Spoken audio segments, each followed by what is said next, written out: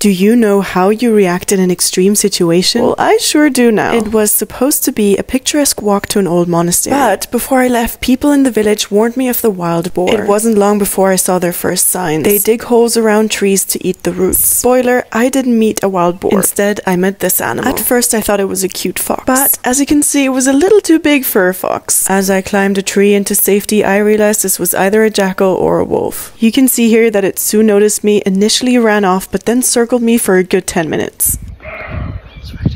Took all my courage to grab a stick and make my way as fast as I could out of the mountain.